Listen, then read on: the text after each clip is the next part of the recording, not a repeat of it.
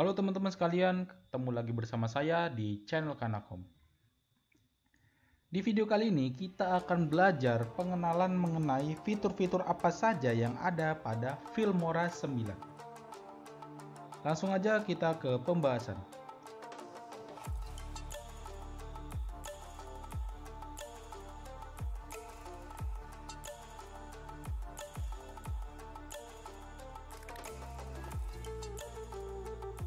Oke, kita klik new project. Seperti yang kita ketahui, menu utamanya seperti ini ya, teman-teman. Nah, di sini saya akan bahas singkat aja karena nanti kalau saya bahas detail, videonya akan kelamaan dan kalian akan uh, bosen nontonnya ya, teman-teman. Ya, di sini saya akan bahas yang penting-penting aja. Oke, kita mulai dari uh, kita lihat di sini ada menu barnya ya, teman-teman Nah, setiap aplikasi biasanya ada menu bar seperti ini. Ada file, edit, tools, views, explore, dan help. Oke, kemudian di bawah sini ada media. Kita lihat di sini ada project media, di dalamnya ada folder, set media, sampel color. Nah, sampel color ini ini warna polos ya, teman-teman biasanya itu digunakan untuk uh, background color di bagian di beberapa videonya ya teman-teman. Caranya itu kalian klik aja dan kalian tarik ke timelinenya ya teman-teman. Seperti itu caranya. Oke kita lanjut. Di bawahnya sini ada sampel video. Nah sampel video ini ini video pen, eh, video pendek dari Filmora sendiri ya teman-teman cocok sekali ini buat kalian yang mau belajar-belajar Filmora atau mengetes-ngetes pakai video dari Filmora ini juga bisa. Lihat di sini. Oh ini ada beberapa yang belum saya download ya teman-teman. Harus diunduh dulu untuk beberapa videonya. Oke kita lanjut di audio. Nah kita lihat di sini ada beberapa audio.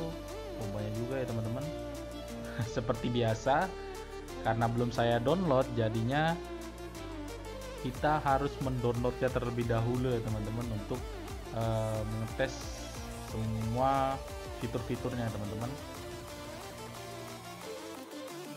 Kita lihat di sini ada included young and break tender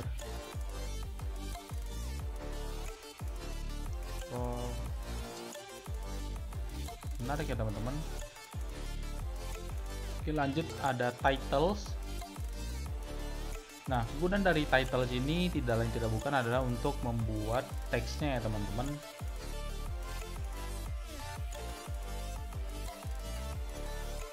Ada beberapa varian teks. Oh banyak juga ya teman-teman. Included ada custom openers titles the lower subtitles. Nah ini ada subtitlenya teman-teman.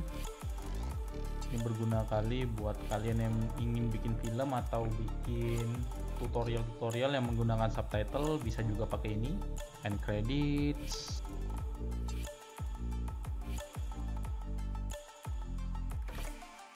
Lanjut ada transition transition. Kegunaannya apalagi kalau bukan untuk transisi ya teman-teman untuk perpindahan dari video satu eh, dari video frame satu ke frame selanjutnya.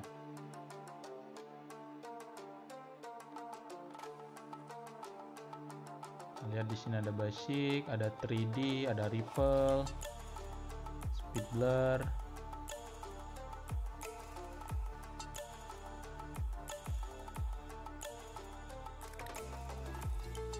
Nah, kurang lebih seperti itu. Kemudian kita lanjut ke efek. Kita lihat seperti apa efeknya ini.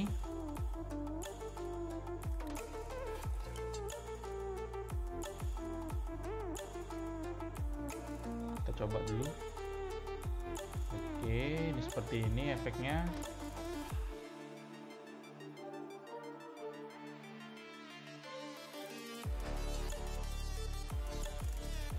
Efek-efek standarnya ya teman-teman. Ada banyak lagi tapi kita harus download beberapa lagi ya teman-teman.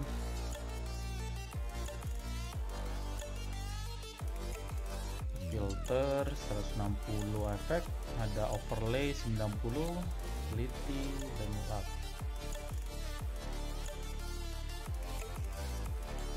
Efek kemudian di sampingnya ada elemen nah elemen sini kalau di sini dia kayak apa ya emot gitu ya tambahan emot gitu di bagian videonya ya teman-teman. Coba kita lihat satu. Nah kan kayak stiker-stiker gitu. Dan di sini cuma satu yang bisa kita gunakan. Oh di bawahnya ada lagi nih.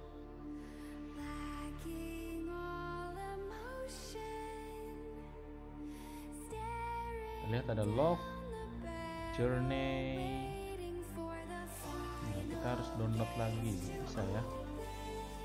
Ada shapes draw purchase tutorial dan yang lain. Oke kita lihat lagi. Di sini ada split screen. Split screen ini saya kurang paham saya belum pernah menggunakan split screen ini di di Filmora ini. Oke oke ini seperti uh, untuk membuat video versus itu ya teman-teman. Video versus gitu. Ini ada satu yang kiri ini ada yang kanan. Atau buat kayak before atau after ya teman-teman. Di sini before di sini after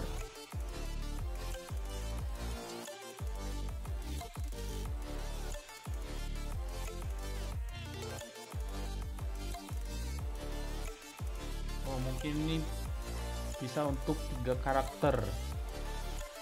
Oke lanjut di sampingnya ada ekspor teman-teman.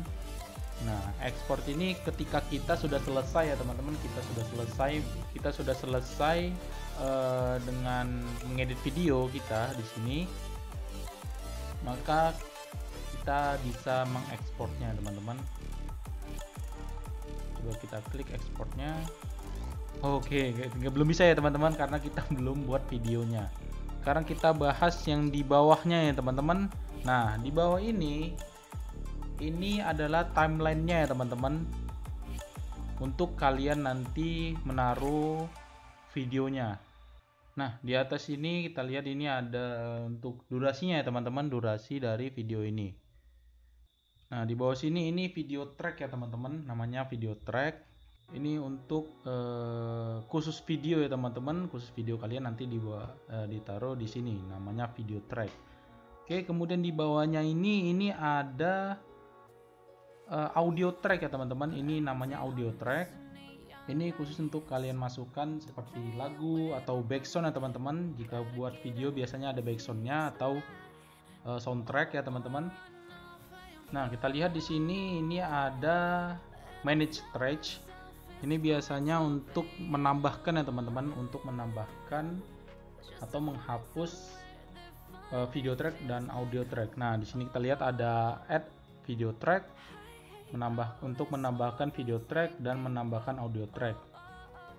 Kemudian ada delete empty track. Ini untuk menghapusnya ya teman-teman untuk menghapus track di bawah sini nanti. Ada adjust track ada open track manage. Oke kita lanjut di bagian atasnya ini ini nggak bisa diaktifkan. Biasanya sini ada banyak menunya lagi teman-teman. Coba kita uh, taruh dulu videonya ya teman-teman.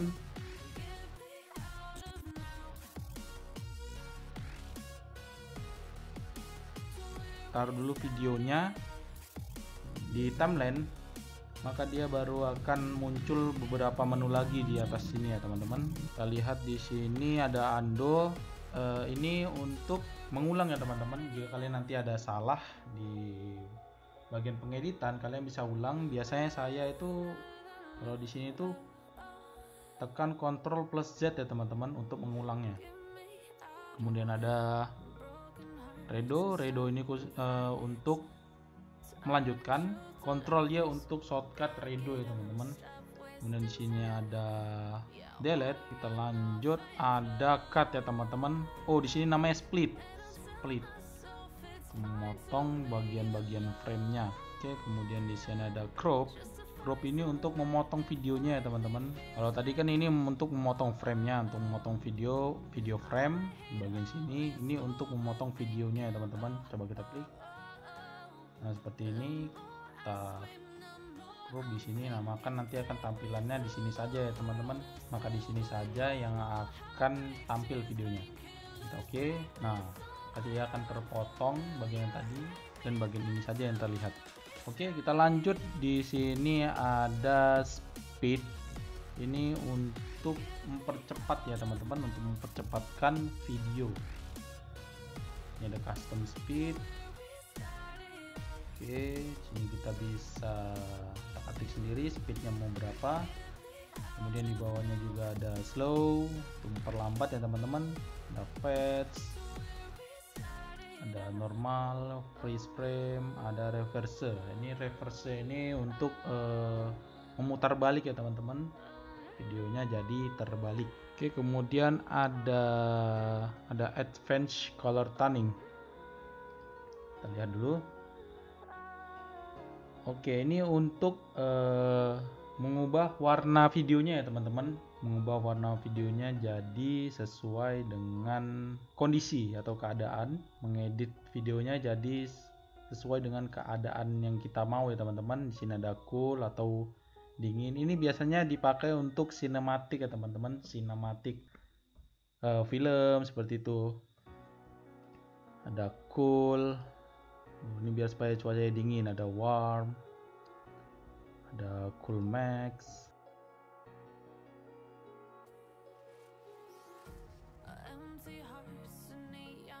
Oke kita lanjut. Coba ada apa lagi. Ada green screen. Ada green screen. Ini khusus untuk ini biasa untuk youtuber-youtuber ya teman-teman. Seperti biasanya itu untuk gaming itu pakai green screen belakangnya teman-teman. Nah seperti itu. Apalagi yang viral-viral ini biasanya apa? Meme ya teman-teman. Untuk meme green screen meme gitu ya teman-teman nah itu pakai aplikasi seperti ini ya teman-teman green screen. Kemudian selanjutnya ada menu edit ya teman-teman. Coba kita lihat dulu menu editnya. Nah, di sini kita lihat ada video transform focusing stabilization stabilization. Ini mungkin untuk pengeditan ekstranya. Ada chroma key lens correction drop shadow. Ini samping ada color. Oke. okay. Kemudian ada motion nah motion ini untuk efek videonya ya teman-teman selain efek yang seperti tadi ini juga efek untuk videonya kita lihat di sini ada boom ada bounce zoom coba kita mari kita coba satu Oke, seperti itu ya teman-teman. Kita lanjut di kanan. Nah, di kanan ini ini ada layarnya ya teman-teman.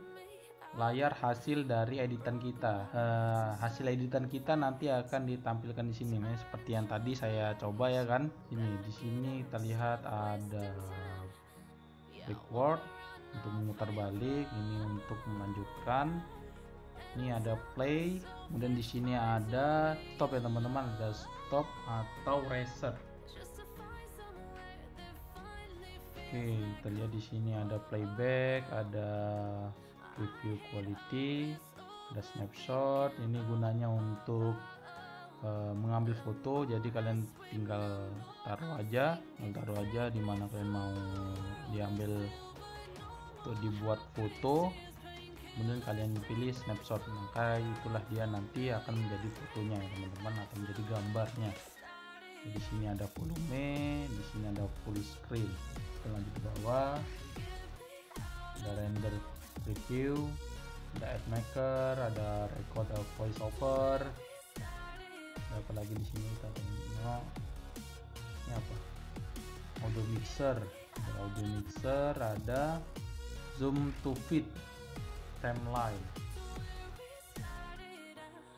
Oh ini untuk zoom zoom in zoom outnya teman-teman. Zoom in zoom out untuk di bagian timeline nya oke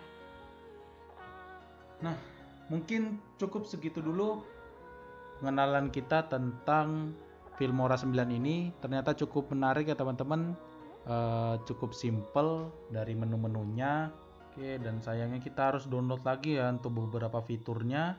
Cuma itu saja Oke terima kasih yang sudah menonton video ini. Semoga video ini bermanfaat. Dan jangan lupa untuk like, comment, dan share ke teman-teman kalian. And subscribe. Terima kasih sampai jumpa di video selanjutnya